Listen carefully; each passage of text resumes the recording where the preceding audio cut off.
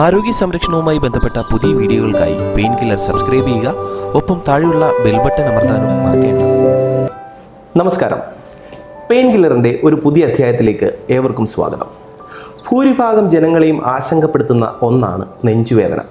നെഞ്ചുവേദന എന്ന് കേൾക്കുമ്പോൾ തന്നെ ഹാർട്ട് അറ്റാക്ക് ആണോ? എല്ലാവർക്കും ഒരു പേടിയാണ്. ഇന്ന് ഇത്തരത്തിലുള്ള നിങ്ങളുടെ സംശയങ്ങൾക്ക് മറുപടി പറയാൻ പെയിൻ കില്ലറിൽ അതിഥിയായിട്ടുള്ളത് ഡോക്ടർ ദിലു വിശ്വനാഥാണ്. ദോഹയിലെ പ്രശസ്തമായ ബദറുൽ സമ പോളിക്ലിനിക്കിലെ ചീഫ് ഇന്റർവെൻഷണൽ കാർഡിയോളജിസ്റ്റാണ് ഡോക്ടർ ദിലു വിശ്വനാഥ്. ഡോക്ടറെ സ്വാഗതം ചെയ്യാം പെയിൻ കില്ലറിലേക്ക്. Welcome sir. ഡോക്ടർ ഞാൻ ആദ്യം ഇൻട്രൊഡക്ഷനിൽ പറഞ്ഞതുപോലെ തന്നെ നെഞ്ചുവേദന എന്ന് പറയുന്നത് വളരെ പ്രശ്നകാരിയാണ്. നെഞ്ചുവേദന രാത്രി എങ്ങാനും വന്നു കഴിഞ്ഞാൽ ഉടൻ തന്നെ നമ്മൾ പേടിക്കുകയാണ്. ഇത് ഹാർട്ട് അറ്റാക്കിന്റെ ലക്ഷണമാണോ? ഇത് ഹാർട്ട് അറ്റാക്ക് ആണോ ശരിക്കും എല്ലാ നെഞ്ചുവേദനയും ഹാർട്ട് അറ്റാക്ക് ആണോ നമ്മുടെ ഈ ചോദ്യം വളരെ ലളിതമാണ്. എല്ലാ നെഞ്ചുവേദനയും ഹാർട്ട് അറ്റാക്ക് ആണോ? തീർച്ചയായിട്ടും അല്ല. കാരണം നമ്മൾ ഇതിന്റെ ഒരു കണക്ക് പരിശോധിക്കുകയാണെങ്കിൽ ഒരു നൂറ് നെഞ്ചുവേദനകൾ നമ്മൾ എടുക്കുകയാണെങ്കിൽ അതിലൊരു ഇരുപതെണ്ണം മാത്രമേ ഹൃദ്രോഗം കൊണ്ടുള്ള നെഞ്ചുവേദനയായിട്ട് നമ്മൾ പ്രസന്റ് ചെയ്യാറുള്ളൂ. ബാക്കിയുള്ളതെല്ലാം പല പല കാരണങ്ങൾ കൊണ്ടാണ് ഉണ്ടാകുന്നത്. പക്ഷേ ഈ നെഞ്ചുവേദനകളിൽ ഏറ്റവും ഗുരുതരമായിട്ടുള്ള ഒന്നാണ് ഹൃദ്രോഗം കൊണ്ടുള്ള നെഞ്ചുവേദന. അതുകൊണ്ട് ആർക്കെങ്കിലും നെഞ്ചുവേദന ഉണ്ടായാൽ അത് ഹൃദ്രോഗമല്ല എന്ന് ഉറപ്പുവരുത്തേണ്ടത് ഒരു അത്യാവശ്യമാണ്. അതല്ലാതെ എല്ലാ നെഞ്ചുവേദനകളും ഹൃദ്രോഗമാണെന്ന് കരുതി പേടിക്കേണ്ട കാര്യമില്ല. പക്ഷേ ഹൃദ്രോഗമല്ല എന്ന് ഉറപ്പുവരുത്തേണ്ടത് ആവശ്യമാണ്. സാധാരണഗതിയിൽ ഏതൊക്കെ കാരണങ്ങൾ കൊണ്ടാണ് നെഞ്ചുവേദന വരാറുള്ളത്? നെഞ്ചുവേദനകളുടെ നമുക്ക് പല കാരണങ്ങളായിട്ട് നമുക്കതിനെ ഡിവൈഡ് ചെയ്യാമെങ്കിൽ ഞാൻ രണ്ട് രീതിയിൽ അത് പറയാനാണ് ആഗ്രഹിക്കുന്നത്. ഒന്ന് ഗുരുതരമായ പ്രശ്നങ്ങൾ കൊണ്ടുണ്ടാകുന്ന നെഞ്ചുവേദന രണ്ട് ഗുരുതരമല്ലാത്ത കാരണങ്ങൾ കൊണ്ടുണ്ടാകുന്ന നെഞ്ചുവേദന. അപ്പോൾ ഒരു രോഗി ഒരു നെഞ്ചുവേദനയായിട്ട് വരുമ്പോൾ നമ്മൾ ആദ്യം നോക്കുന്നത് അത് എന്തെങ്കിലും ഗുരുതരമായ പ്രശ്നം കൊണ്ടുള്ളതാണോ അല്ലയോ എന്നാണ്. അത് ഒന്ന് നമുക്കറിയാം ഹാർട്ട് ബ്ലോക്കുകൾ. ഓക്കെ. നമ്മൾ സാധാരണ ഈ ഹാർട്ട് അറ്റാക്ക് എന്ന് പറയുന്ന ആ ഒരു സംഭവം കൊണ്ടുണ്ടാകുന്ന എല്ലാം ഗുരുതരമായ നെഞ്ചുവേദനകളാണ്. രണ്ട് നമ്മുടെ ഹൃദയത്തിൽ നിന്ന് പുറത്തോട്ട് പോകുന്ന മഹാധമനിയുണ്ട് അയോട്ട എന്ന് പറയും. അതിലുണ്ടാകുന്ന വിള്ളലുകൾ അത് അയോട്ടിക് ഡിസക്ഷൻ എന്നാണ് പറയുന്നത്. ഓക്കെ. രണ്ട് നമ്മുടെ ലങ്സിന്റെ ആവരണത്തിലുണ്ടാകുന്ന നീർക്കെട്ടുകൾ നമ്മൾ പ്യൂർട്ടിക് പെയിൻ എന്ന് പറയുന്നുണ്ട്. ഓക്കെ. പിന്നെ അതിലുണ്ടാകുന്ന എയർ ലീക്കേജ് ന്യൂമോത്രാക്സ് പിന്നെ നമ്മുടെ പൾമണറി ആർട്ടറി ലങ്സിലോട്ട് പോകുന്ന രക്തക്കുഴലിലുണ്ടാകുന്ന ക്ലോട്ടുകൾ അതിന് പൾമണറി എംബോളിസം എന്ന് പറയുന്നു. ഇങ്ങനെയുള്ള ചില കണ്ടീഷനുകൾ നമുക്ക് ഒരു വളരെ സീരിയസ് ആയിട്ടുള്ള കോംപ്ലിക്കേഷനിലേക്ക് പോകാവുന്ന ചില കാരണങ്ങൾ കൊണ്ടുണ്ടാകുന്ന നെഞ്ചുവേദനകളുണ്ട്. അപ്പോൾ ഒരാൾ നെഞ്ചുവേദനയായിട്ട് വന്നാൽ ഈ കാരണങ്ങളാണോ അല്ലയോ എന്നാണ് നമ്മൾ ആദ്യം നോക്കുന്നത്. മറ്റുള്ള കാരണങ്ങൾ എന്ന് പറഞ്ഞാൽ ഏറ്റവും കോമൺ ആയിട്ട് കാണുന്നത് നമ്മുടെ മസ്കുലോ സ്കെൽറ്റൽ പെയിൻ അതായത് നമ്മുടെ മസിൽ നിന്നോ അല്ലെങ്കിൽ ബോണിൽ നിന്നും ഉണ്ടാകുന്ന പെയിനാണ് കൂടുതലായിട്ടും കാണുന്നത്. നമുക്കറിയാം നമ്മുടെ നെഞ്ചിലെന്ന് പറഞ്ഞാൽ സ്കിന്നുണ്ട് താഴെ ബോണാണ് പിന്നെ മസിലാണ് പിന്നെ ഒരുപാട് കവറിങ്ങുകളുണ്ട് ലെയേഴ്സ് ഉണ്ട്. ഇപ്പോൾ ഇവിടുന്ന് എവിടെ നിന്ന് വേണമെങ്കിലും വേദന ഉണ്ടാകാം. പക്ഷെ നമ്മുടെ മെയിൻ എയിം എന്ന് പറയുന്നത് ഈ വരുന്ന നെഞ്ചുവേദന നമ്മൾ നേരത്തെ പറഞ്ഞ ഏതെങ്കിലും ഗുരുതരമായ കാരണങ്ങൾ കൊണ്ടുള്ളതാണോ എന്നാണ് നമ്മൾ നോക്കുന്നത്. ഓക്കെ അതുപോലെ എനിക്ക് തോന്നുന്നു ചിലർ വളരെ സീരിയസ് ആയ നെഞ്ചുവേദന ഡോക്ടർ പറഞ്ഞ ഗണത്തിൽപ്പെടുന്ന നെഞ്ചുവേദനയെ പോലും നെഞ്ചുവേദന വന്നു ഇത് ഗ്യാസ് ആണ് എന്ന് പറഞ്ഞ് തിരസ്കരിക്കാറുണ്ട്. ശരിക്കും നമ്മൾ ഒരു നെഞ്ചുവേദന ഗുരുതരമാണ് എന്ന് എങ്ങനെ ഒരു സാധാരണക്കാരന് മനസ്സിലാക്കാൻ പറ്റും? ഇപ്പം വീട്ടിൽ നമ്മൾ കിടന്നുറങ്ങുന്നു ഒരു മെഡിക്കൽ പ്രൊഫഷണലിന്റെ സാന്നിധ്യമൊന്നും അവിടെ ഉണ്ടാവില്ലല്ലോ. അപ്പോൾ എങ്ങനെയാണ് ഇത് തിരിച്ചറിയുക? തീർച്ചയായിട്ടും ഇതൊരു വളരെ നല്ലൊരു ക്വസ്റ്റ്യനാണ് കാരണം നമുക്ക് രണ്ട് ഗ്രൂപ്പുള്ള ആൾക്കാരുണ്ട്. ഒന്ന് വളരെ സീരിയസ് ആയിട്ടുള്ള വേദനയെ വളരെ നിസ്സാരമായിട്ട് കാണുന്നു. നിസ്സാരമായ വേദനയെ വളരെ നമ്മൾ പരിഭ്രാന്തിയോടെ നോക്കുന്ന ആൾക്കാരുണ്ട്. അപ്പം ശരിക്കും ഒരു നെഞ്ചുവേദന അതായത് ഹൃദ്രോഗം മൂലമുണ്ടാകുന്ന ഒരു നെഞ്ചുവേദനയ്ക്ക് ചില പ്രത്യേകതകളുണ്ട്. പക്ഷേ എല്ലാവർക്കും ആ പ്രത്യേകതകൾ ഉണ്ടാവണമെന്നില്ല. എങ്കിലും പ്രധാനപ്പെട്ട ഒന്ന് അതിന്റെ ലൊക്കേഷൻ അതായത് ആ നെഞ്ചുവേദന എവിടെ ഉണ്ടാകുന്നു എന്നതാണ്. അത് നെഞ്ചിന്റെ നടുഭാഗത്തായിട്ട് ഒരു വേദനയായിട്ടോ അല്ലെങ്കിൽ എന്തോ ഒരു ഭാരം കയറ്റി വെച്ചിരിക്കുന്നതായിട്ടുള്ള ഒരു ഫീലിംഗ് ഉണ്ടാകുക. അതാണ് പ്രധാനമായിട്ട്. ഒരു നെഞ്ചിന് എന്തോ ഒരു കനം പോലെ തോന്നുന്നു. എനിക്ക് ഇതുവരെ ഇല്ലാത്ത ഒരു വെയിറ്റ് തോന്നുന്നു. ഇതൊക്കെയാണ് ഹൃദ്രോഗത്തിന്റെ ലക്ഷണമായിട്ടുള്ള ഒരു ഒരു ഒരു ക്യാരക്ടറിസ്റ്റിക് ഒരു പ്രത്യേകത. രണ്ട് ഈ വേദന വ്യാപിക്കുന്ന സ്ഥലങ്ങൾ. ഉദാഹരണത്തിന് നമ്മുടെ ഈ ഇടത്തെ കൈയുടെ ഉള്ളിലേക്ക് അതായത് മീഡിയൽ ആസ്പെക്റ്റിലേക്ക് നമ്മളിങ്ങനെ അത് വ്യാപിക്കുന്നു. അല്ലെങ്കിൽ നമ്മുടെ കീഴ്ത്താടിയിലോട്ട് വ്യാപിക്കുന്നു. ഇതിന്റെ കൂടെ നമുക്ക് സ്വെറ്റിങ് വിയർക്കുന്നു. അല്ലെങ്കിൽ നമുക്കൊരു ഓർക്കാനം ഉണ്ടാകുന്നു ശ്വാസമുട്ടലുണ്ടാകുന്നു ഇങ്ങനെയുള്ള കാര്യങ്ങൾ ഈ നെഞ്ചുവേദനയുടെ ഒപ്പം ഉണ്ടാവുകയാണെങ്കിൽ അത് നമ്മൾ തീർച്ചയായിട്ടും പെട്ടെന്ന് തന്നെ ഒരു ഇവാലുവേഷൻ നമ്മൾ കണക്കാക്കേണ്ടതാണ്. കാരണം അത് പ്രധാനമായിട്ടും ഹൃദ്രോഗം കൊണ്ടാണ് അങ്ങനെയുള്ള നെഞ്ചുവേദനകൾ ഉണ്ടാകുന്നത്. ഇനി വേറെ ചില വേദനകളുണ്ട്. അതായത് നമ്മളിപ്പം ഒരു പോയിന്റ് ഇപ്പോൾ ഒരു കൈ വിരൽ കൊണ്ട് നമുക്ക് തൊട്ട് കാണിക്കാവുന്ന വേദനകൾ അല്ലെങ്കിൽ ഈ നമ്മുടെ പൊക്കളിന് താഴോട്ടുണ്ടാകുന്ന വേദനകൾ പിന്നെ ഈ നമ്മൾ ശ്വാസം വലിക്കുമ്പോൾ ഉണ്ടാകുന്ന വേദന ഈ വേദനകളൊന്നും സാധാരണഗതിയിൽ ഹൃദ്രോഗത്തിന്റെ ലക്ഷണമായി കാണാറില്ല. ചില ഞാൻ പറഞ്ഞു ഇപ്പം ഒരുപാട് ഏജ്ഡ് ആയിട്ടുള്ള ആൾക്കാർ എഴുപത്തഞ്ച് വയസ്സിന് മുകളിലുള്ള ആൾക്കാർ ഡയബറ്റിക് പോപ്പുലേഷൻ പിന്നെ ചിലപ്പോൾ കിഡ്നിയുടെ അസുഖമുള്ള ആൾക്കാർ ഇവർക്കൊന്നും വേദനയായിട്ട് വരണമെന്നില്ല. അതുകൊണ്ട് അവർക്ക് ഏത് തരത്തിലുള്ള വേദന വന്നാലും അവരൊന്ന് ഇവാലുവേറ്റ് ചെയ്ത് നന്നായിരിക്കും. സാധാരണ ജനറൽ പോപ്പുലേഷനാണ് ഞാൻ പറഞ്ഞ ഒരു കാര്യങ്ങൾ നോക്കേണ്ടത് ഓക്കെ ഈ വിദേശ രാജ്യങ്ങളിൽ പ്രത്യേകിച്ചും ഗൾഫ് പോലെയുള്ള രാജ്യങ്ങളിൽ മാനസിക സമ്മർദ്ദം ഒരു ഒരു വലിയ പ്രശ്നമായിട്ട് കാണാറുണ്ട്. എത്രത്തോളം ഇമ്പാക്റ്റ് ആണ് മാനസിക പ്രശ്നം ഇത്തരത്തിലുള്ള ഹാർട്ട് അറ്റാക്കിന് കാരണമാക്കുന്നത്? കാരണം ഇപ്പം നമ്മുടെ ഇന്ത്യയിൽ കാണ കാണപ്പെടുന്ന ഹാർട്ട് അറ്റാക്കുകൾ പൂർണമായിട്ടും ചെറുപ്പക്കാരിലാണ് ഉണ്ടാകുന്നത്. കാരണം നമുക്കറിയാം ഇന്ത്യക്കാരിലെ ഹാർട്ട് അറ്റാക്ക് വെസ്റ്റേൺ പോപ്പുലേഷനെക്കാട്ടിലും ഒരു പത്ത് പതിനഞ്ച് വർഷം മുമ്പാണ് ഉണ്ടാകുന്നത്. ഇതിന്റെ ഒരു പ്രധാനമായ കാരണം നമ്മുടെ ലൈഫ് സ്റ്റൈലിൽ ഉണ്ടാകുന്ന വ്യത്യാസങ്ങളാണ്. ആ ലൈഫ് സ്റ്റൈലിൽ ഏറ്റവും പ്രധാനപ്പെട്ട ഒരു പ്രശ്നമാണ് അമിതമായി ഉണ്ടാകുന്ന സ്ട്രെസ്സുകൾ അപ്പോൾ ഈ അമിതമായുള്ള സ്ട്രെസ്സുകൾ കാരണം ബ്ലോക്കുകൾ നമ്മുടെ സാധാരണ ബ്ലോക്കും വരുന്നു. പിന്നെ ഈ ഹാർട്ടിന്റെ കുഴലിലോട്ടുള്ള വിള്ളലുകളും ഉണ്ടാകാറുണ്ട്. അത്രയും സ്ട്രെസ്സ് കൂടുമ്പോൾ. അപ്പം ഇപ്പോഴത്തെ ഒരു യങ്ങർ പോപ്പുലേഷൻ ഏറ്റവും കൂടുതൽ ഹൃദ്രോഗത്തിലേക്ക് നയിക്കുന്ന ഒരു ഘടകമാണ് ഈ സ്ട്രെസ്സ് അത് ഡയറക്റ്റായിട്ട് നയിക്കാറുണ്ട്. പിന്നെ മാത്രമല്ല സ്ട്രെസ്സ് കൂടിയിട്ട് നമുക്ക് ഹൈപ്പർ ടെൻഷൻ ഇതെല്ലാം ഹൃദ്രോഗത്തിലേക്ക് നയിക്കുന്നത് അതുകൊണ്ട് ഇപ്പം പുതിയ നമ്മുടെ ഒരു മാനേജ്മെന്റ് പാറ്റേണിൽ മെന്റൽ റിലാക്സേഷൻ ടെക്നിക്കിലേക്ക് യോഗയ്ക്കൊക്കെ ഒരു വളരെ ഇമ്പോർട്ടന്റ് ആയിട്ടുള്ള ഒരു റോൾ ഇപ്പം നമ്മൾ കൊടുക്കുന്നു. കൊടുക്കുന്നുണ്ട്. നമുക്ക് എന്തെങ്കിലും സ്ക്രീനിങ് ഉണ്ടോ? സാധാരണ പറയാറുണ്ട് കൊളസ്ട്രോൾ ലെവൽ കൂടുതലാണെങ്കിൽ ഹൃദ്രോഗം വരാനുള്ള സാധ്യതയുണ്ട്. ഡയബറ്റിക് രോഗികൾക്ക് ഹൃദ്രോഗം വരാനുള്ള സാധ്യതയുണ്ട്. എന്താണ് ഡോക്ടറുടെ അഭിപ്രായം? കൊളസ്ട്രോൾ എത്രത്തോളം വില്ലനാണ്? ഈ കൊളസ്ട്രോൾ എപ്പോഴും നമുക്ക് ഒരു ഒരു ഡിബേറ്റബിൾ ടോപ്പിക്കാണ് കാരണം കൊളസ്ട്രോളിന്റെ അളവ് കൂടുന്നതനുസരിച്ച് ഹാർട്ട് അറ്റാക്ക് ഉണ്ടാക്കുന്നു എന്നത് ഒരു എല്ലാ പഠനങ്ങളും പ്രൂവ് ചെയ്ത ഒരു ഘടകമാണ്. പക്ഷേ നമ്മൾ ഇന്ത്യക്കാരിലുള്ള ഒരു ഹാർട്ട് അറ്റാക്ക് നമ്മൾ പരിശോധിക്കുകയാണെങ്കിൽ ഒരു പക്ഷേ കൊളസ്ട്രോളിന്റെ അളവ് കൂടാതെ തന്നെ അവർക്ക് അറ്റാക്ക് ഉണ്ടായിട്ടുണ്ട്. അതൊരു ജനറ്റിക് പ്രിഡിസ്പൊസിഷനാണ് എങ്കിലും ജനറലി പറയുകയാണെങ്കിൽ കൊളസ്ട്രോൾ കൂടുന്നത് ഹൃദയാരോഗ്യത്തിന് നല്ലതല്ല എന്നത് തന്നെയാണ് എല്ലാ പഠനങ്ങളും ശാസ്ത്രീയമായിട്ട് തെളിയിച്ചിരിക്കുന്നത്. നമുക്ക് ഇതിൽ നമ്മുടെ ഈ കൊളസ്ട്രോളിന്റെ അറുപത്തഞ്ച് ശതമാനം നമ്മുടെ ബോഡിയിൽ തന്നെ ഉണ്ടാകുന്ന കൊളസ്ട്രോളാണ്. മുപ്പത്തഞ്ച് ശതമാനം മാത്രമാണ് നമ്മൾ ആഹാരത്തിലൂടെ അകത്തോട്ട് പോകുന്നത്. അപ്പോൾ അതുകൊണ്ട് നമ്മൾ ആഹാരത്തിൽ ഈവൻ നമ്മൾ കൊളസ്ട്രോൾ കൺട്രോൾ ചെയ്താൽ പോലും നമ്മുടെ ബോഡിയിൽ കൊളസ്ട്രോൾ കൂടാനുള്ള സാധ്യതയുണ്ട്. പലരും അങ്ങനെ പറയാറുണ്ട് ഞങ്ങൾ കൊളസ്ട്രോൾ ഒന്നും കഴിക്കുന്നില്ല പക്ഷേ ഞങ്ങളുടെ കൊളസ്ട്രോൾ കൂടുതലാണ്. നമ്മുടെ ബോഡി തന്നെ ഉണ്ടാക്കുന്ന കൊളസ്ട്രോളാണ്.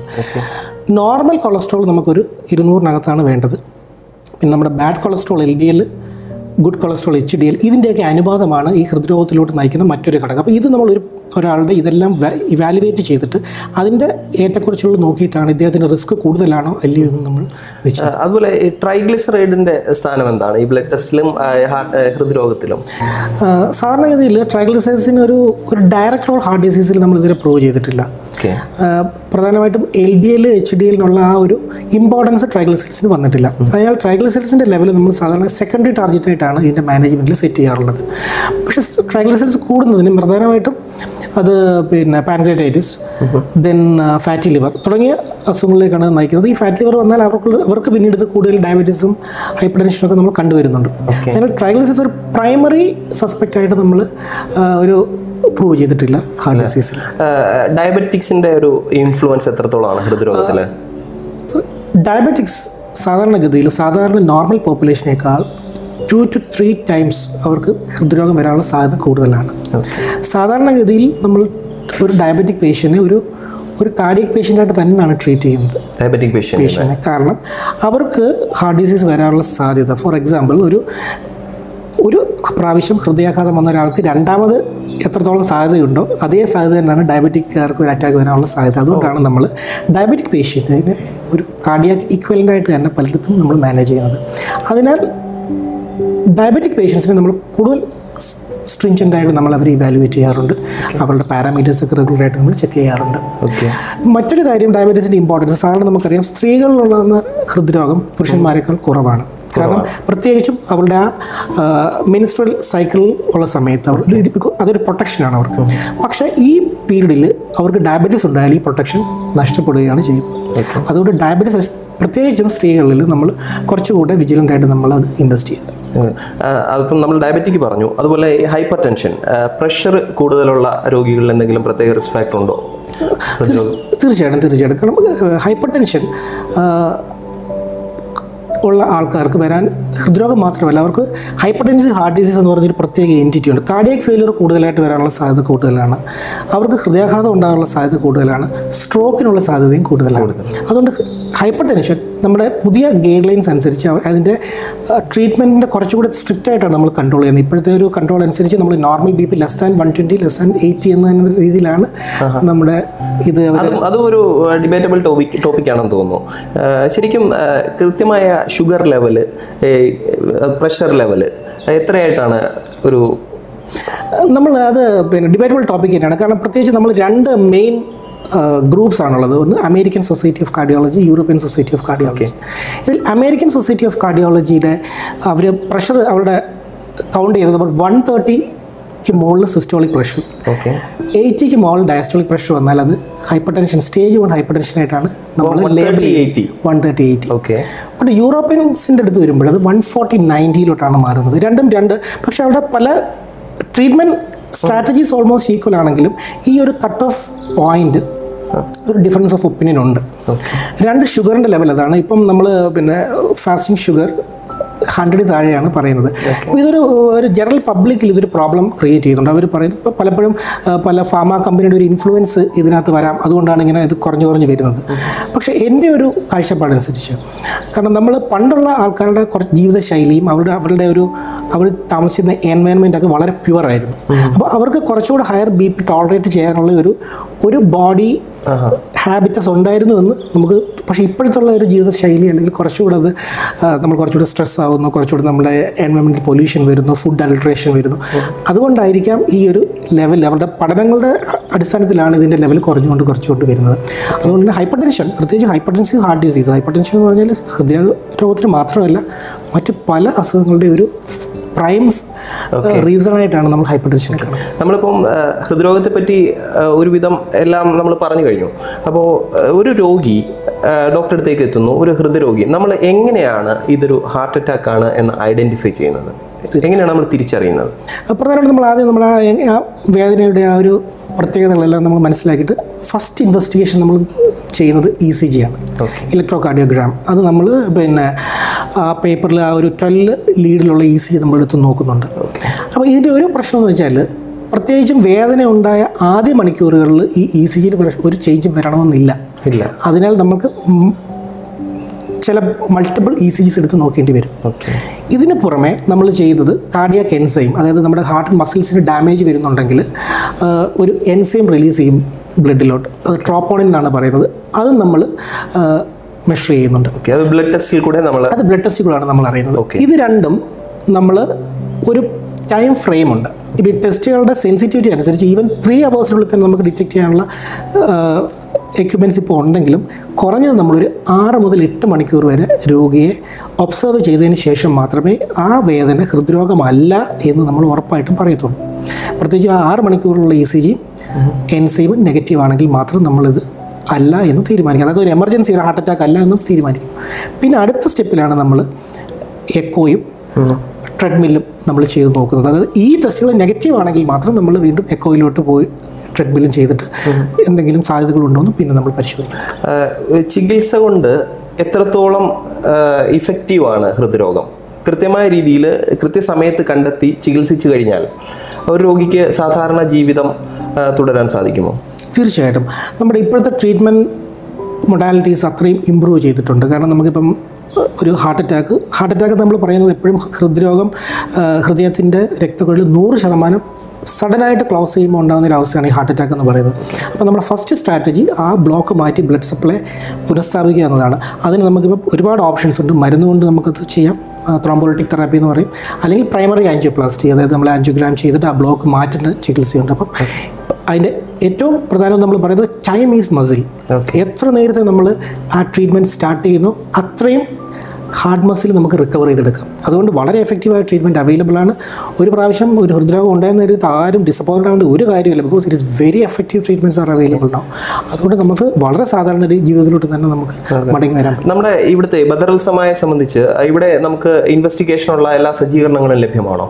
ട്രെഡ്മിൽ ട്രെഡ്മില്ല് എക്കോ പോലെയുള്ള അതെ നമുക്ക് പിന്നെ ഇ സി ജി ബ്ലഡ് ടെസ്റ്റുകൾ electro echo cardiogram and treadmill test ഈ ടെസ്റ്റുകളെല്ലാം നമുക്ക് ഡയഗ്നോസ്റ്റിക്കിനുള്ള എല്ലാ ടെസ്റ്റുകളും നമുക്ക് ഇവിടെ അവൈലബിൾ ആണ്. അവൈലബിൾ ആണ്.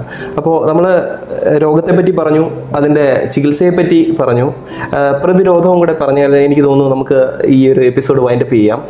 എന്താണ് സാധാരണ ജനങ്ങൾ ഹൃദ്രോഗം വരാതിരിക്കാൻ വേണ്ടി ശ്രദ്ധിക്കേണ്ട കാര്യങ്ങൾ? അതെ prevention is better than cure എപ്പോഴും തന്നെയാണ് പറയുന്നത്.